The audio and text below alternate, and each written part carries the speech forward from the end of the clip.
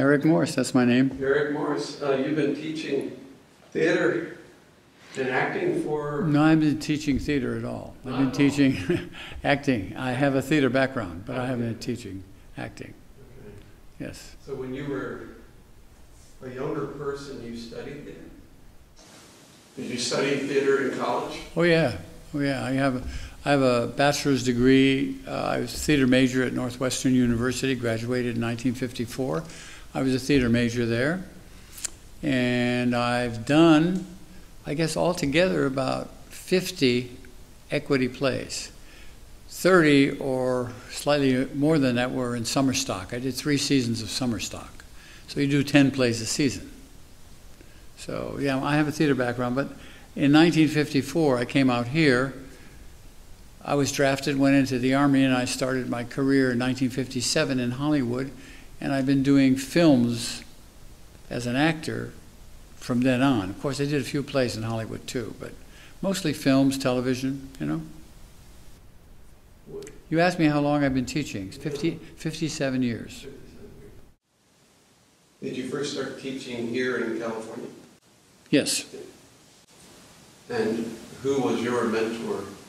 Well, I have to say that I had a lot of acting teachers in college and a lot of uh, directors in theater, but I guess the most influential teacher I had was a protege of Lee Strasberg's, Martin Landau.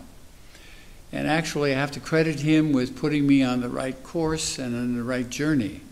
Up until I studied with him, everything I'd been exposed to, college and everywhere else, was general, cerebral, intellectual, and there was no how. And so I always say that from Marty, I learned, I went from A to E, A, B, C, D, E, and I had an alphabet that I could spell words with. I'm giving you a metaphor. And it was the first time I had a how, or the beginnings of a how. And from there, I went off on my own over the, over the period of a half a century, and I created my own system based on Stanislavski, the method. Uh, I was influenced by Lee Strasberg. I was at the Actors Studio for about eight years, and uh, I created my own system. And I have actually seven books on my system uh, that detail it totally to this point. Of course, I keep adding to it, so it's kind of a non-ending journey, you know. Had you read any books that influenced your way of looking at acting that you felt were important in terms of your development? Well, I, the standard books, To the Actor, uh, the Stanislavski books, uh, Creating a Character, My Life in Art, uh, those books, the first, first six lessons in acting by Richard Boleslavsky. Uh, I read The Crafts of Comedy by Athene Seyler and Stephen Haggard. I read a lot of books, but actually, besides the inspiration that they might have stimulated, I went off on my own thing. I really, see, my, my, my system is really based on Stanislavski. But I think I, I relate to it like this. This is not, and I, I, I want to make it clear, this is not an ego trip at all. This is fact. Stanislavski was the foundation for what I did. It's like building a house. Created the foundation and maybe even a little bit of the framing. And then I was influenced by Lee Strasberg, and there was a basic foundation to all of that. But what haunted me I, I use the word haunted, but because I was so frustrated. I, my teacher in Northwestern was Alvina Krause. She was famous. I think she was infamous, actually. She, she, she had teachers like, um, I mean, she had students like Charlton Heston, uh, Richard Benjamin, uh, Patricia Neal, good people. But it took me years to find out she didn't know anything about acting. I didn't really learn anything from her at all. And she was kind of a phony, really. And I say that with, with due respect to the fact that I learned nothing from her. And on the journey that I was on, I was very frustrated. I used to ask teachers, well, Okay, how do I do that? He said, oh, you know, you think about it, you remember it. But how, how do I get to that authentic, organic, emotional place? Oh, well, you recall it. That's not a how. That's not a how. So I was, I was driven to discover the hows. How do you, how do you do it? What is the, what's the process? What is the approach, the technique? How? Nobody could answer it. Until I got into Marty's class and there was a how there, the beginnings of a how. No, there was a how there, but it was it was the beginning of my journey really, because I've gone light years beyond that particular influence. But I, I'm grateful to him, and I'm grateful to Lee Strasberg. I think Lee was a, a genius, probably knew more about theater than any living person before or after. But he was limited by his own emotional obstacles, his own emotional obstacles. He was limited by those. So he didn't go as far as with a technique or teaching actors as I believe he may have if he wasn't wasn't limited by his own his own demons, you know. I'm, I'm going to cut right to the chase. I said before, I teach people how not to act. What I have been doing for over a half a century is I've been dealing with liberating the actor, his instrument, her instrument, the actor's instrument. What does that mean? I've been doing what I call instrumental therapy work to liberate the actor from obstacles, fears, tension, uh, dependencies, uh, uh, habits, uh, isms, redirections, compensations. I could go on for a whole day telling you all of the obstacles and issues and problems that actors have. So I've been dedicating myself to working with actors to liberate their instruments so they were free to act, to get rid of the obstacles, the fear, the tension, the concerns, the, the dependency, the, the, the religious fears, the social fears, etc. And in my first 10 years of teaching, I took a lot of, a, a, a, lot of criticism for that. They used to make fun of me. You say, oh, you're going to Eric Morris's acting class? Going to lay down on the couch and talk about how your mother damaged you? And that went on for a long time, for about 10, 12, 15 years. And you know when it stopped? I'll tell you when it stopped. People would go on the Johnny Carson show or one of the other night uh, talk shows, nighttime talk shows, and they'd say, I didn't know anything about acting until I went to Eric Morris. Nothing. And these were famous people. These were people who were movie stars. And so pretty soon the criticism stopped and it went away. And then the respect for what I was doing kind of elevated. But I'm still very controversial to this day and time. To this day and time. People say, oh boy, I don't know. You know, he's pretty rough. It's pretty intense there. It's pretty intense. I don't know how intense it is. I don't think there's any separation between living and acting. And if you, if you can't liberate your instrument to, to act, to not act, then, then, then you're, you're damaged and you're, you're in a place where you have obstacles to being able to be organic, honest, and experiential. Let's talk about experiential. I teach people how to be professional experiencers. What does that mean? It means that this is a this is a mystery. Stanislavski, a hundred years ago, said the actor must experience in reality what the character in the play is experiencing. And that statement went over everybody's head for a hundred years. For a hundred years. It, it would like flew into the ether. It was gone. It didn't go over my head. So in the last 30, 35 years, I've emphasized the, the, the word experiential.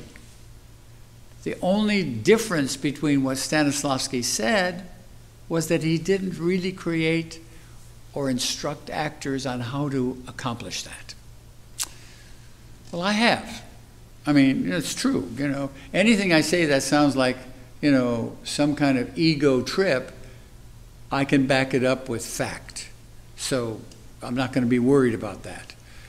But what I've done is I've helped actors to become experiential in their work. In other words, the only missing link in the, well, let's go back to that part. Then I'll talk about Stanislavski a little bit. The only missing link in the method and in the training of actors, categorically for the last hundred years, is, and this is a tragedy, it doesn't make me happy, that nobody that I know of, and I've been doing this for long enough time to know who's out there, deals with the actor's instrument on a really deep and meaningful level to liberate, to allow the actor to be free, free from, free from everything that keeps us as people, social obligations, etc., from being comfortable being who we are. So that whole thing about teaching acting and the missing link in that is that to my knowledge there isn't anybody out there dealing with the instrument on the level that I am or have been in any really meaningful depth. Strasberg said when an actor would say anything about what he was working for, uh, Strasberg would say, Well, what do you want to tell us after he would watch a scene? The actor would say, Well, Lee, I was dealing with a, a issue I had with my mother. Stop, stop. I don't want to hear about it. Save it for your therapist. Lee Strasberg was terrified of crossing the line between what he said was acting and therapy, psychology. Well, I'm not afraid of that. But anyway, that's what really, that's what really limited him and the other thousands of teachers out there that are first unqualified to do it for the most part. I don't say they're all unqualified, but nobody's doing it. Nobody's dealing with the actor's instrument in depth in terms of alleviating and liberating and freeing the actor. I have a book on freeing the actor, one of, one of my last books. And what it is, essentially, is a, a, compilation of all the problems that actors have and how to antidote them exercises, techniques, approaches, how to antidote them. I'm going to get back to Stanislavski for a minute. 100 years ago, he said, An actor needs to experience what the character in the play is experiencing. But he didn't say how to do that. How do you do that? Is you identify the character's responsibilities the author's intentions, and you use your own life experiences as choices to affect you and stimulate the life of your life that parallels the character's life. And that's how you really become an experiential actor. And in order to do that, my process is divided into two sections the instrument and the craft. The instrument is the actor, his mind, the body, the voice, the, the emotions. That's, that's, that's the instrument. The craft is the process by which I use and have created on how to address and fulfill all the elements, all the obligations of dramatic material. I, I have seven major obligations I list. I don't want to go into them, but uh, the craft is designed to address time and place, relationship. I am going into them, I guess. Uh, character, emotional life, uh, the emotion of the, uh, of, of, the character, and the actual underpinnings of the play, the message of the play. So essentially, there are seven major obligations. And they don't all relate to a single piece of material. If it's a, a, contemporary piece of material, you have no historical obligation. That's one of the eight obliga- seven obligations, historical. So if you're doing a contemporary piece of material, you don't have a historical obligation. But if you're doing something even 10 years ago, 20 years ago, society was different then, and you have to you have to accommodate that, you know. So anyway, I'm I'm very I'm very happy with what I've done. I'm very happy with what I've accomplished with this work. And this work is profoundly life changing. I get letters from people I had in my class 35 years ago, expressing their gratitude to me and how this work, this work has affected their lives. And, and I'm, that's the perk. That's, that's, that, that's the fulfillment I have. I make a living and I pay my bills. That's ancillary to me. That's an ancillary thing. To me, the greatest level of fulfillment in my life is what people gain from the work and how it liberates their life, changes their life, makes them more open, happier people, and much better actors. And that's it, really, you know? And that's what's important to me. Top, what, what, what did I just say? talking about actor studios, you wanted to direct, Yeah, okay, yeah, yeah. and we're rolling. Okay. Yeah, there was a period in my life, uh, I, I acted for, you know, I've done, my God, a lot of acting. I've done two series. One was a network series. I had a running part in that. Didn't last very long. The New Phil Silvers Show in 1964. And then I did 39 segments of a syndicated show called Eyewitness to the Past.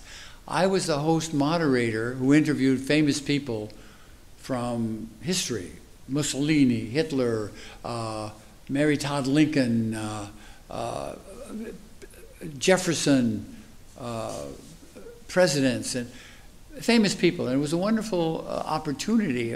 Actually, it was like taking a four year course in history because I had to read up on everybody I was interviewing. So it was wonderful. But getting back to what I was saying, um, I thought I would I did. I did direct. I directed about eight plays here and around in the actor studio. I did uh, several uh, projects that actually were audience uh, invited audiences. That was not. That was un, unheard of at the actor studio, and I I did uh, several. Uh, and they play. They they you know they actually played at the actor studio. I guess above and beyond Lee Strasberg's uh, permission. But he was in New York, and uh, we did them. But anyway, I thought, but I st- I'm going to segue into directing film. The book I was going to tell you about, The Four C's of Cinematography, one of the best film books I've ever read. It's really incredible. Anyway, so I was at the actor studio at the time. And there were a couple of directors there, and Lou Antonio is a wonderful actor. He's done some wonderful stuff, and he's a director. And he invited me uh, down to watch him direct a sitcom.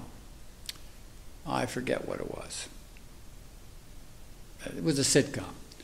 Uh, a woman, four children, I forget the name of the show. The Brady Bunch. Or something like that. And I think it was that. I don't know. Anyway, I, I stood there watching him for the whole day. At lunchtime, we sat down, and he said, "Well, you know, it's a it's a, it's a journey.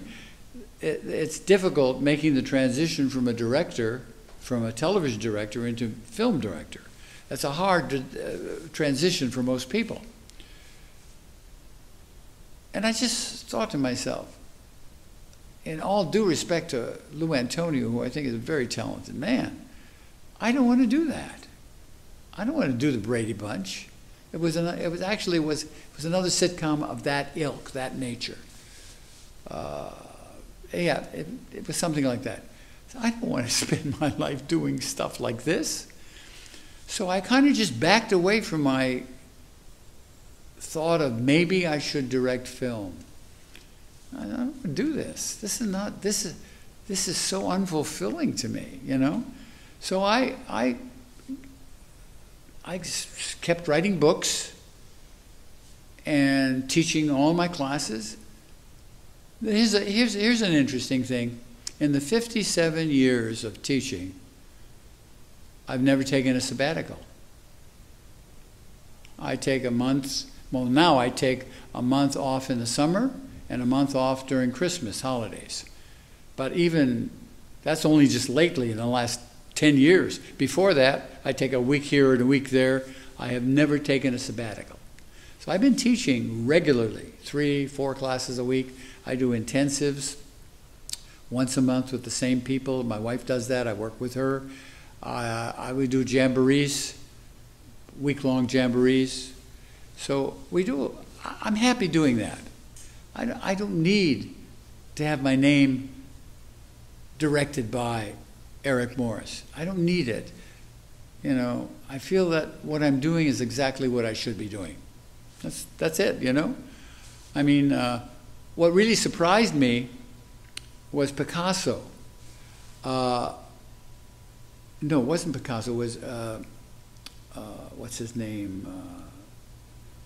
The the surrealist who uh, let clocks that were Dali. yeah Salvatore Dali. That's it. I was shocked. I went to in St. Petersburg, Florida. He has a museum. He was a wonderful conventional painter and a talented one who decided that wasn't his medium. He wanted to do something else and he segued into surrealism. And so if that's what if that what excited him and gave him the juice to do it, more power to anybody who makes that decision. My decision was not not to do sitcoms and not to do television and not to, to stay there all day and have a schedule on which you've got to bring this in in the three or four days you're shooting. That's not for me. I see where you've gone, I've read your books, uh, talked with you, I have an understanding of your life in a basic way.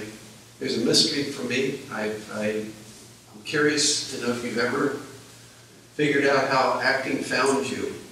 How, from your growing up, going through school like the rest of us, how did it, how I- did you suddenly say, oh, I'm Oh no, no, I can I, I can tell you specifically. It's not a mystery. No, it's not. Okay. I was. You talked about photography earlier. I was going to be a professional photographer. Okay. My brothers, both of them, were in theater. My brother Ed, Ed Morris, was uh, originally an actor, turned into being a writer. Pretty good writer wrote 30 films and a lot of television. Wrote a wonderful play called uh, The Wooden Dish. Played it was translated into 11 languages, different. And my brother Phil was a techie. He was a production stage manager. Uh, he did later in his life. He became a producer of television uh, anthologies. So I I really didn't think about acting. I wanted to be a photographer. And so I was, at that time, graduating from high school, 17 and a half. And I started to think about, and I did send out some applications to some pho- pho- photography schools. Rochester, New York, the Kodak had a school at that time, and a couple of other places. My brother Phil came into Chicago with Finian's Rainbow, the musical. He was the production stage manager for that. I went backstage the first week it was there, and his assistant stage manager was an actor also. His name was Norman Shelley.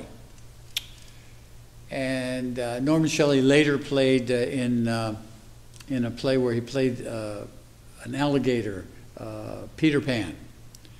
And uh, Norman was his assistant. He introduced, Hi, hi there, how are you? And he looked at me and said, Hey, listen, kid. He said, Be careful, there's a bug flying around here somewhere. And if you get bit by it, it's fatal. I said, what, What's he talking about? My brother Phil was standing there and said, Oh, come on, dummy. He's talking about the acting bug. I said, No way. I'm never going to do that. No.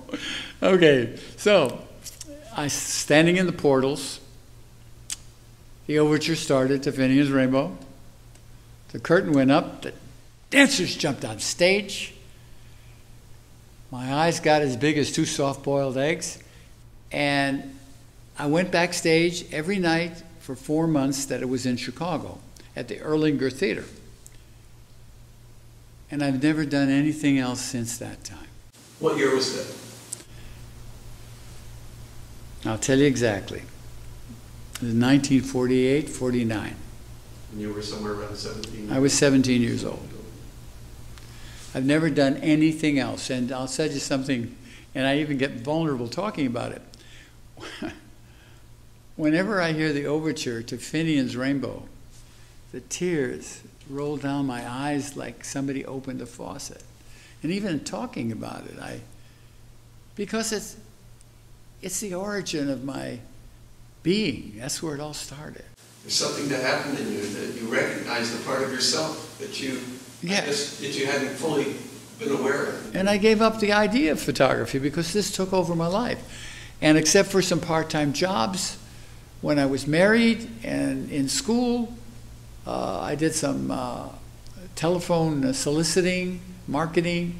I worked in a lot of different things. I worked for my cousin as an apprentice mechanic, worked for my brother in law as a liquor salesman.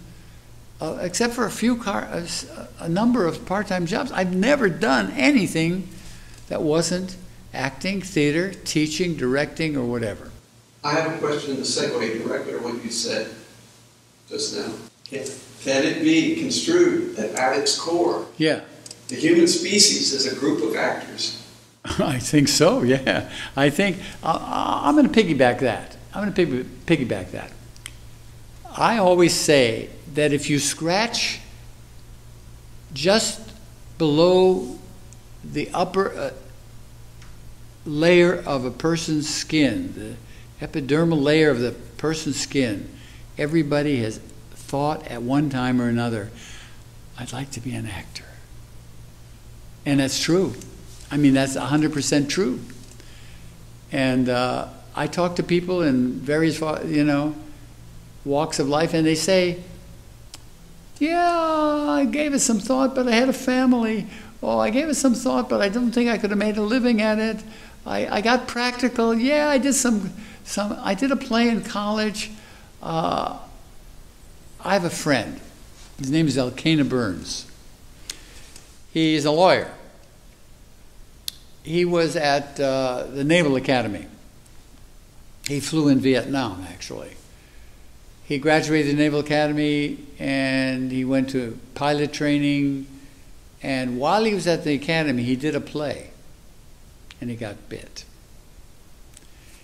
Finished his tour of duty, went to Washington, opened a law office, got past, you know, past the bar and everything. And somebody took him to my class. I was teaching in Washington on a weekend workshop. You must have taken one of those, right? And it from that on, from then on, all he wanted to do was act. He gave up his law firm and moved to Hollywood with the intention of being a professional actor. And that's that's a fact. So when you say, can you dig deep enough at the core? At the core, yes, it's at the core. It's at the core. I guess I don't know what else I can tell you.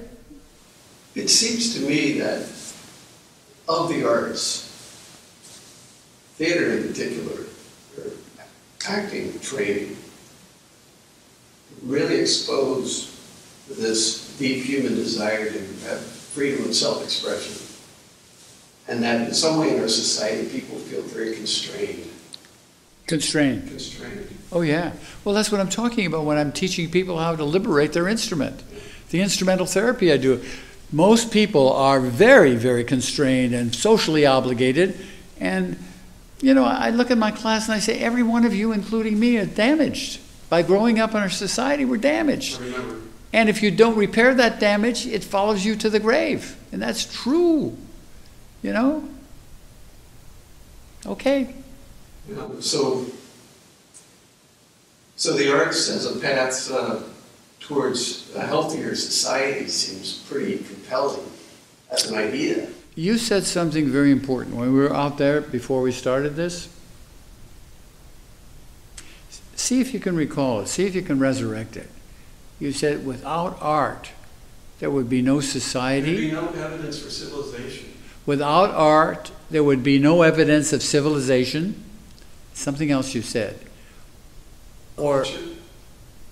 Without the there'd be no evidence. We'd have no proof of it. No proof. I think that's brilliant. I think it's a brilliant statement. I'm going to use it. It's a brilliant statement. You should use it. Okay. Eric, you've got a very expressive face. I don't need to tell you this. No, no, I guess not. You've, been- you've been liberated as an actor. Yeah, yeah. Obviously, you- you're free to express yourself. Oh, I'm still working on myself. Is it, aren't we all? Now, isn't it interesting from what you just said, um, that people who were your critics, who thought that you were becoming too much like a therapist or, you know, Sigmund Freud or something, seem to be missing something. And that is, the arts are a conduit towards mental health, Right on. to be, to becoming whole as a human being. Absolutely.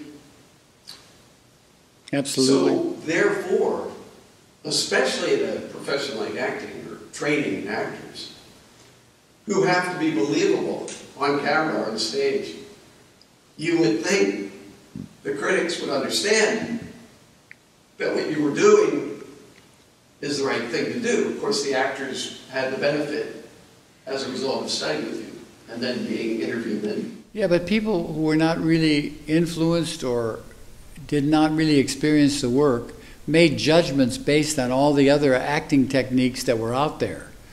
Uh, you don't have to do all of that to be an actor. You don't have to. I, you- I mean, forget it. I mean, who, who wants to do that stuff? It's painful. Well, it's not only painful; it's liberating. It's it's a discovery. It's a it's an exploration of who you are. Yeah, but the greatest, the most, the critics that I had in the early years and even now are people who really don't understand what this is all about. Any one of those people, if I could get any one of those people on the stage in relation to an instrumental exercise or dealing with material, and I would creatively manipulate them into an experiential experience, they would immediately know what I was doing. But standing outside looking in, you don't get it. You don't get it, and that's okay. I'm not trying. I'm not trying to corner the market on actors or acting or teaching. I just do what I do because I believe in it. What, what do you think it is exactly that that you believe in so passionately to have uh, committed a life to to, to being a, a mentor, teacher? What am I? Right, right what, what, yeah, as an like, what do you think the deeper intention is for you that, that really drives you to, to to have committed your life to this work? I, I thought of something, but I'm not going to say it. Well, I mean, could it be love? No, I, I was going to say immortality. You know, but the reason I laughed is that that's not really what why I do what I do. But your question piqued that response. No, I you know I don't think of what's going to be like when I'm gone. I'm just hoping that the people that I have taught. You know, there's over a hundred people out there teaching my work exclusively that I know about, and I can give you their names and where they're teaching it. Now, that doesn't count for the people who, in the colleges that use my books, and the places that exclusively teach the Eric Morris system. I have three schools in Australia, exclusively Sydney, Queensland, and I always blank on the other name, the, the other big city in um, Australia. And I have people in, in, in uh, Argentina and uh, Turkey and so on and so forth, not counting all the people here. So I feel very grateful, grateful that this work is being disseminated like a little circle in a pond. It's getting bigger and bigger and bigger and bigger and bigger. Do you know I don't get any financial uh, return for, from any of those people? I don't ask for it. I don't want it. That's not what I'm talking about. The satisfaction I get is that we're disseminating this work in the world. So, yeah, I have a whole list, I, I don't have it with me, of the people who are teaching all over the world. And I'm in touch with them, either by email or by phone. And I'm very excited about It excited has to be a very fulfilling experience to know that you've touched so many lives. It is. It's not only fulfilling, I'm very grateful for it, and it, it justifies my existence for me, for me, you know? Okay. You feel very, I'm sure you feel very grateful that you have, uh, you found this path that uh, brought you many uh, blessings, obviously, and, and the people around you. Yeah. know. I only started teaching by accident. Was that right after you were studying with Martin Landau? Well, he got a he got a big part in Cleopatra, and he was gone for a year. Going to be gone to Rome for a year. I was without a teacher, so I started looking around. Couldn't find anybody. I was very frustrated. I didn't have enough money to go to New York.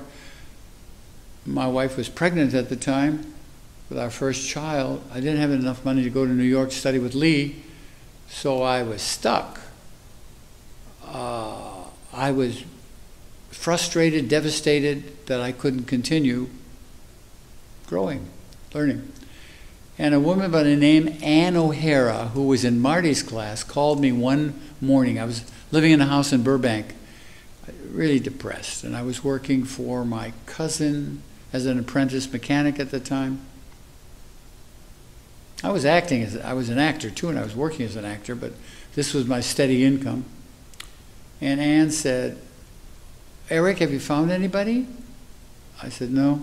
I'm afraid there's nobody out there. I've been all over the place. So well, why don't you start a class? I learned as much from you as I did from Marty. I said, Ann, I'm not a teacher, I'm an actor. She said, Well, don't you think you could promote your own growth if you were teaching? Bingo! Light went off, yes. So I started, I had one person, I had two people, I had three people, then I had two people, I had four people, then I had three people, I had five people, and I had four people. And I got seven or eight people. And I was teaching, and the first year of teaching, I was in the red. It cost me more to rent a place to teach than I was making. And uh, then Curt Conway came into town. He was Marty's teacher, but didn't work at all like Marty, Broadway actor. And he asked Marty if he knew anybody that could teach beginners because he didn't want to teach beginning actors. It was a thing. So Marty recommended me because I was the one who worked the hardest in his classes. And Curt contacted me and he watched me teach a class and he left me a note. He said, I got to leave early, but it has nothing to do. Here's the note. I read the note. It says, You are a born teacher. I would be honored for you to teach with me. So I was teaching my small classes and I was teaching people he was sending me for him, and the rest is history. I was with him for about four or five years, then I went off on my own. So during that process of accepting the, the invitation and then actually physically going through the motions of being a teacher, uh, did it take you long to really own that and say, yeah, I'm a teacher? Yeah, yeah. Or did you still have some doubt about your ability to teach? No, no. No, I'm a master teacher. No, I, I don't I don't say that without any hesitation. Like a duck to water. You No. No, I'm I no right now, right now, I wasn't a master teacher for decades, decades maybe. But over the years and the work I've done and the experience and you know, uh, I have become a master teacher. I, I use this as a as an analogy. Do you want to be you? You come to me and you say, "I want to be a master juggler." What do I have to do to become a master juggler? I'd say juggle every day of your life for the rest of your life. And someday you might be a master juggler. It's a no brainer. It's a no brainer. Yes, I am a master teacher uh, without qualifications. And it's not, it's not, I'm not bragging, it's a fact. Okay? Do you feel or perceive or have you observed that uh, in our society, perhaps we have forgotten about the, uh, the merit and the importance of apprenticeship, of having uh, uh, mentors other than just, you know, your normal school teachers or at least having an appreciation for mentorship? Or do you think there's something lacking that you see around us? Just wonder. Oh, yeah, I can answer that question. Do I see something lacking when I look around in terms of people's apprenticeship or need to learn and need to grow and need to find mentors? Yes. Let me just point something out. It relates to our society, I guess. There was a there was a, a book and some CDs and some DVDs that came out a few years ago called The Secret. Do you remember that? It was a dynamically instant success. Millions and millions and millions of dollars. And do you know why? I'm going to tell you. Because it allowed people to believe that they could get exactly what they wanted just by imagining it. That's not a lot of work, so I'm going to do it. And if I can be rich and famous and get everything I want by imaging it or imagining it, then that's all I have to do. See? Okay. Somebody came to my uh, audit my class last week. I give everybody a free audit. I don't want them to jump in and I look them over, they look me over to see if it's a fit. I don't charge them for that audit. Said, well, they went to an, another teacher's class and there were 60 people in it. I said, 60 people? My classes are limited to 20 or under because I work with every single person in my class, every class. And I thought to myself, do you know why people seek out other venues, other places like The Secret or classes that they hear like cold reading classes or audition classes, which I, that's okay. They're all right. You know, I'm not against them. I don't think there's any such thing as a cold reading, but that's beside the point. Is because they don't want to do the work that it takes to accomplish the proficiency and the, the expertise that it takes decades to become a master at anything a master person, a master painter, a master actor, a master director, master writer, a master anything, a master architect. Takes a lifetime a lifetime to accomplish that. Most people don't want to do it. Now, for me, I work with a 93 year old psychiatrist every Friday at 11 o'clock. I was there before I came here.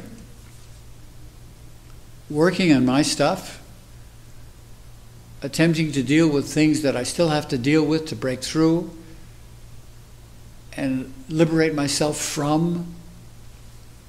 And I will do that until I die because it's necessary. I have two, two credos by which I have always lived, well, most of my life. Stay hungry and keep reaching. That's one. Stay hungry and keep reaching.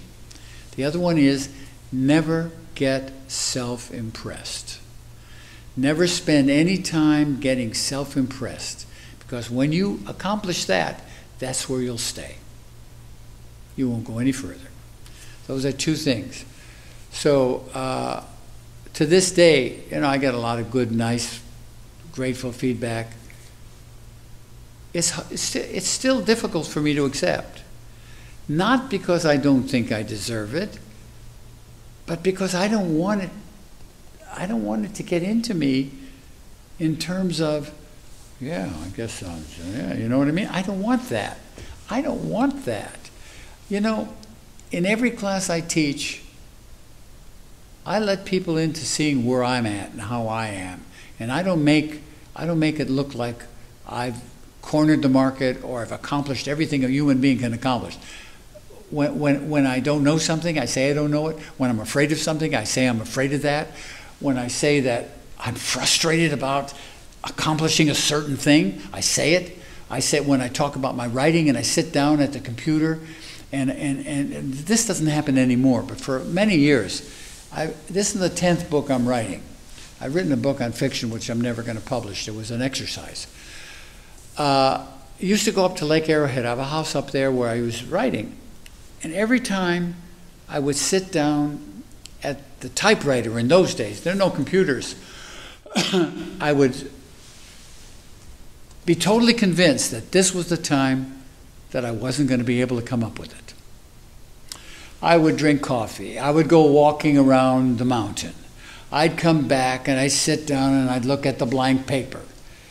And I'd start to type a sentence. Then I would type two sentences. Then I'd type three. And then I got a paragraph. And once I got the paragraph, the juices started going and I could write. But every time, for many years even, I mean, uh, several years anyway, at least two books, three books, I was sure I, I was be dry, a, writer's block. I couldn't do it.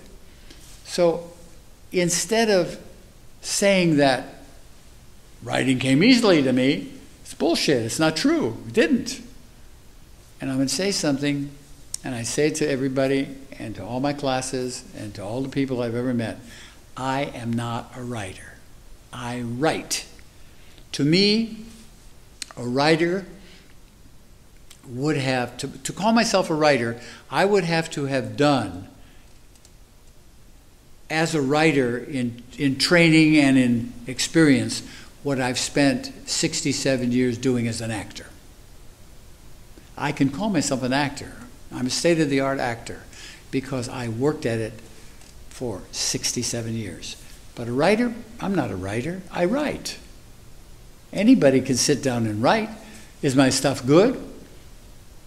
It's, it's readable, and it's factual, and it's instructive, and people get something from it. But a writer? No, I'm not a writer. You're an actor playing a writer. Well, okay, I'm an actor playing a writer. Then I would have to actually look for some kind of parallel in my passion and in my journey as an actor, as a parallel. Somehow I'd be able to creatively manipulate that into playing a writer who was a writer.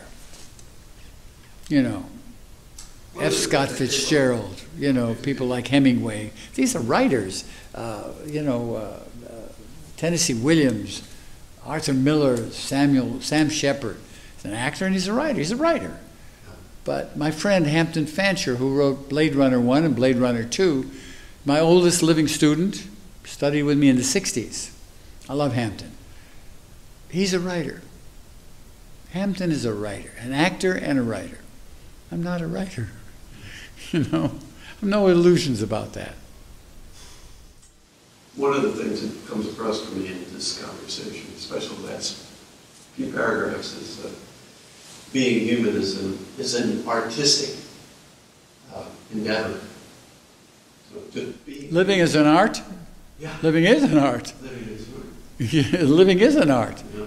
If if you approach it that way, I, I want to say one other thing. In conclusion, I want to say, my my idea of a responsibility from birth to death, from the time you're born to the time you die, your responsibility is to elevate your consciousness.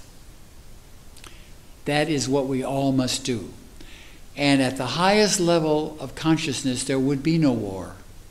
There would be no killing. There would be none of the things that, that, that, that the animalistic desires of man to, to murder, destroy, hunt, kill animals, kill people, that wouldn't exist. Because as you become conscious, really conscious, it doesn't make any sense. From my experience, uh, it, it really appears that the arts are a direct route to becoming more conscious. I agree. No, I agree. I agree totally. I agree totally. I've been collecting art since I was 40 years old. I have a wonderful collection of art. Uh, I don't have any more wall room on two houses. Uh, incredible collection over the years, and I collect what I like. It's eclectic. It's no one person, no one artist. It's eclectic. If it appeals to me, if it if it touches me, if I get something from it, I have it. And so I can't draw a straight line. I'm not talented that way. But my appreciation of people who can is the utmost, you know. I really, really, really, really admire people who paint. I have some wonderful, I have some wonderful art. I sometimes sit in my living room and I look at my paintings that are in, in that in that venue, but they're all over the house. I just look at them for a long time It's just allow myself to experience what I'm experiencing from painting on the wall, how it affects me, seeing things in it I never saw before. That's, I have a story. When I was in the Army, uh, I was in a play with a woman actress by the name of Ruth Warshawsky. She was married to a great artist, Abel G. Warshawsky. He hangs in the Louvre, he hangs in the Metropolitan Museum of Art, he hangs in all over the world. He's a master artist, master artist. As a matter of fact, he painted the portrait of Bing Crosby for the Pebble Beach golf thing. It's still there. I used to visit him two, three times a week. Now, he would sit there. He was crippled by arthritis. He was a wonderful man. He would sit at his easel, light coming in from the windows, and he had this cabinet that stretched totally across the room. Doors, cabinet. And they were filled with his paintings. And he was painting. And one day I said, Buck, his uh, nickname was Buck. Buck, why are your your paintings in the cabinet, not on the walls? He had a couple of paintings on the walls of, of, his, of his wife, Ruth. He said, I'll tell you why. I'll tell you why. He said, if I put a painting up where I could see it, I would see all the flaws and all the things that I still had to do to make that painting what I would want it to be. So it would stop me from painting. I never, never forgot that. Never, never forgot that. I, I saw a virtuoso, uh, I guess he was a musician of some kind. He was interviewed by somebody, and he said, the interviewer said, I don't know what was, you know, it was very interesting. He said, Well, do you feel like you have done it, accomplished your goal? I said, No, I can't say that. He said, I'm still looking for that one note that I haven't found yet. I went, Why, God, yes, I, I, I understood him in a microsecond. I don't know that anybody else would have understood what he just said. But in a microsecond, said, no, I'm still looking for that one note, and I can't find it yet. And I haven't found it yet.